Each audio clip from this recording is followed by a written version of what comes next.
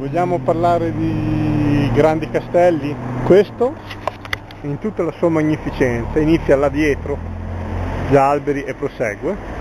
Questo è il castello di Rivoli, il motivo principale per cui molti vengono a visitare questa cittadina. E io sono nel bel mezzo di una rotonda attorno a cui, mi, a cui, attorno a cui girano le auto e ho già rifatto la ripresa 3-4 volte perché ogni volta arriva un grosso SUV o 3-4 auto che fanno un gran frastuono attorno a me. Comunque, normalmente questa zona è molto molto pacifica, è molto molto verde. Ok, andiamo dentro a vedere che cosa c'è di bello.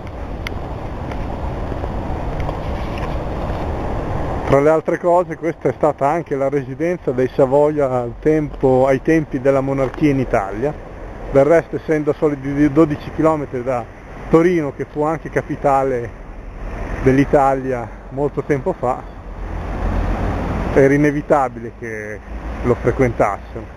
Costruzione davvero incredibile. Lo vedete quel palazzo là in cima sulla collina?